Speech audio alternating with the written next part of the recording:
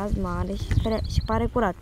S-ar putea ca vreun pârâu să se verse în iaz sau iazul să continui cu un pârâu. Nu crezi că merită să căutăm? Mai încape vorba ai dreptate. E sigur că vom da peste un pârâu. Se bucură Daniel.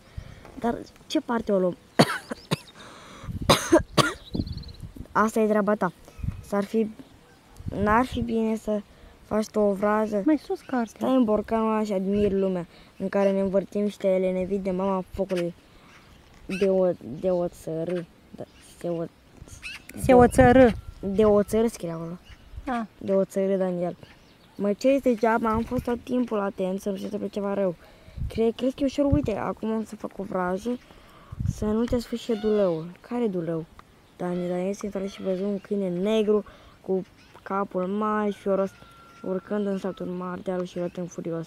Undeva la colțul bărcii, de lângă mal, malul iazului, un, băr, un bărbat în salopete și cu cizme până la genunchi striga ceva nedeslucit, nedeslucit și făcea semne disperate cu mele să, să se dea la o parte din, parte din calea câinelui. Stai liniștit, spuse pe cel ca tot să vină să se gudure. În clipa următoare, duleul negru aj- ajunse pe culmea dealului, lătrânând înfiorător. Avea spume în jurul botului și colții menși. Mai făcu un salt rânjind, după care se opri ca drăjnic și început să dea din coadă. Fiorosul se apropie de el în, în amușină, almușină, adică al mirosi. mai scurt și se apropiară amândoi de băiat. Ham, e în regulă, nu, nu, nu trebuie să te tem. Te lasă chiar să mângâi pe cap.